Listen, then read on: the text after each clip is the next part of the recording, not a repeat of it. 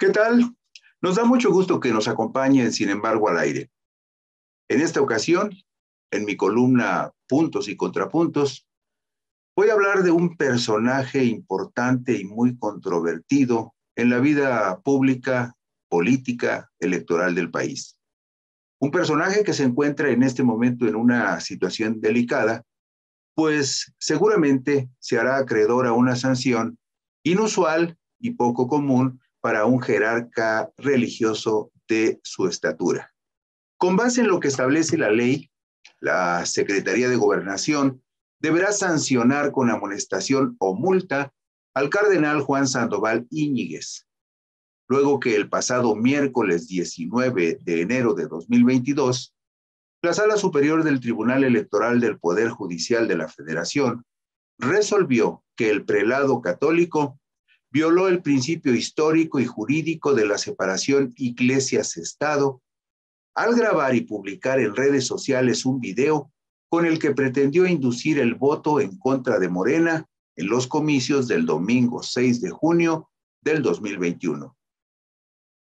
En la sentencia del jueves 30 de septiembre de 2021, emitida por la Sala Superior del Tribunal Electoral, que anuló las elecciones del domingo 6 de junio del 2021 en Tlaquepaque, Jalisco, lugar de residencia del cardenal Sandoval Íñiguez, se transcribe el contenido del video publicado en redes sociales por el cardenal, que fue la causa principal de que esos comicios hubiesen sido invalidados.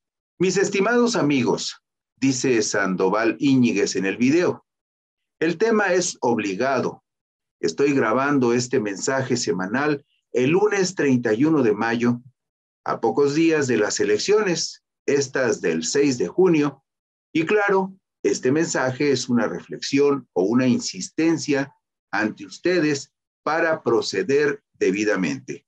Explica el ministro católico. En estas elecciones van en juego muchas cosas. Si ganan los que están en el poder, se viene la dictadura. O sea, se pierde la libertad, porque se trata de un sistema comunista, socialista que esclaviza. Basta mirar los pueblos que han caído en él. Está también en juego la economía, ya de por sí muy dañada, pero si tienen todas las facultades a su gusto, vamos a quedar muy pobres, como en Venezuela o como en Cuba. Agrega también el prelado católico.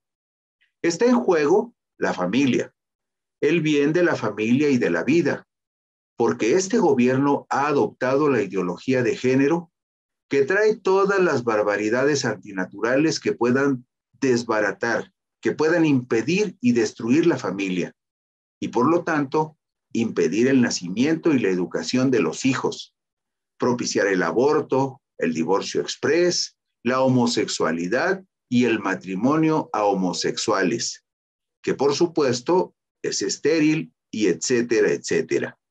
Esta es la ideología de género que tienen en su programa y tratan de meterla ya desde ahorita, de ponerle en las leyes, advertía el cardenal. Señalaba además el prelado católico, está en juego también la libertad religiosa. ¿Por qué? Porque el sistema comunista marxista así lo pide está en juego la seguridad nacional y la paz, los gobiernos se han aliado con los malhechores, con los cárteles. Exhorta también el arzobispo emérito de Guadalajara, yo les pido, yo les suplico que en esta ocasión hagan dos cosas. Primera, pedirle a Dios que nos ilumine y nos ayude. Segundo, salir a votar. Hay un abstencionismo a veces bastante significativo en México de mucha gente que no le interesa, que no sale a votar y deja el campo libre a los malosos, que esos sí votan todos y hasta dos o tres veces en carrusel, dice el cardenal. En la sentencia, la Sala Superior del Tribunal Electoral recapitula sobre el punto y advierte que conforme a lo expuesto, es claro para esta sala superior que efectivamente existe un pronunciamiento de un ministro de culto religioso con relación a las elecciones que se estaban desarrollando. Por tanto, agrega el Tribunal Electoral, es claro que existe una vulneración al principio constitucional de separación iglesia-estado, conforme al cual los ministros de culto religioso no pueden realizar proselitismo a favor o en contra de partidos políticos, candidaturas o asociaciones políticas. El cardenal Sandoval Íñiguez habría violado el artículo 130 de la Constitución Política de los Estados Unidos Mexicanos, que establece el principio histórico de la separación del Estado y las iglesias. Y precisa el artículo 130 constitucional en su inciso E que los ministros no podrán asociarse con fines políticos ni realizar proselitismo en favor o en contra de candidato, partido o asociación política alguno. Tampoco podrán en reunión pública, en actos de culto o de propaganda religiosa, ni en publicaciones de carácter religioso, oponerse a las leyes del país o a sus instituciones. El miércoles 19 de enero de 2022, el Pleno de la Sala Superior del Tribunal Electoral del Poder Judicial de la Federación ratificó la resolución emitida por la Sala Regional Especializada, que a su vez también había confirmado la violación al principio constitucional de separación Iglesia-Estado por parte del cardenal Sandoval Íñiguez. El Tribunal Electoral ordenó dar vista a la Secretaría de Gobernación para que en el ámbito de sus atribuciones aplique las sanciones correspondientes. Por supuesto, la Iglesia Católica salió en defensa de su cardenal. El pasado domingo 23 de enero de 2022, el editorial institucional del semanario Desde la Fe, publicación oficial de la Arquidiócesis Primada de México, en él la Iglesia Católica expresa su desacuerdo con la resolución del Tribunal Electoral. Dice textualmente, en días pasados, la Sala Superior del Tribunal Electoral del Poder Judicial de la Federación encontró culpables a algunos ministros de culto de nuestra Iglesia Católica de haber impactado con sus dichos personales en el proceso electoral federal del año pasado. Y ante ello, remite el expediente a la Secretaría de Gobernación para que resuelva el tema dentro de sus facultades. La revista oficial de la Arquidiócesis Primada de México argumenta que la Iglesia Católica es respetuosa de las disposiciones del poder civil, pues existe con la finalidad de conservar el orden y procurar el bien común. Sin embargo, en esta ocasión, no se está de acuerdo con los criterios que manifiesta en su sentencia el Tribunal Electoral. Esto dice la revista oficial de la Arquidiócesis Primada. Considera la publicación que los ministros juzgados se expresaron desde su ámbito personal, inclusive uno de ellos en el ámbito de la libertad de cátedra.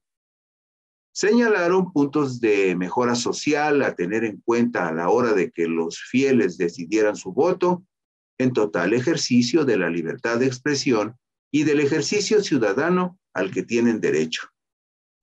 La Iglesia Católica apela a la consideración de la autoridad. Es por ello que teniendo en cuenta que los ministros de culto de esta Iglesia han sido respetuosos de los mandatos de ley y que la Constitución mexicana protege la libertad de expresión y la libertad de fe a través de los artículos 6 y 24 respectivamente, confiamos en que la Secretaría de Gobernación evaluará con justicia y legalidad el caso para determinar lo correspondiente. ¿Cuáles son las violaciones y cuáles son las sanciones que tendrían que aplicarse al cardenal Sandoval Íñiguez? El artículo 14 de la Ley de Asociaciones Religiosas y Culto Público define con claridad los ámbitos de participación política de los ministros de culto. Explica, los ciudadanos mexicanos que ejerzan el ministerio de cualquier culto tienen derecho al voto en los términos de la legislación electoral aplicable.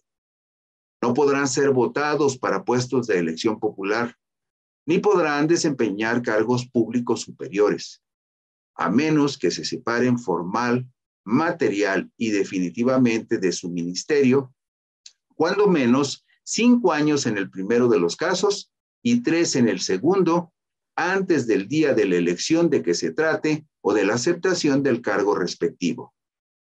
Por lo que toca a los demás cargos, bastarán seis meses, advierte el artículo 14 de la Ley de Asociaciones Religiosas. Y reitera, tampoco podrán los ministros de culto asociarse con fines políticos ni realizar proselitismo a favor o en contra de candidato, partido o asociación política alguna. El artículo 31 de la Ley de Asociaciones Religiosas señala que las violaciones a este ordenamiento se sancionarán tomando en consideración su naturaleza y gravedad o reincidencia, si la hubiera. Entre las sanciones que contempla el artículo 32 de la misma ley están el apercibimiento o la multa por hasta 20 mil días de salario mínimo general vigente en el Distrito Federal. Será la Subsecretaría de Desarrollo Democrático, Participación Social y Asuntos Religiosos, a cargo de Ravidranath Salazar Solorio, la que defina la gravedad de la infracción y la sanción que deberá aplicarse al cardenal y arzobispo emérito de Guadalajara, Juan Sandoval Iñiguez. Una sanción obligada, inevitable, para alguien que ha olvidado que su reino no es de este mundo. Muchas gracias por acompañarnos. Por aquí tendremos el gusto de estar con ustedes el próximo sábado.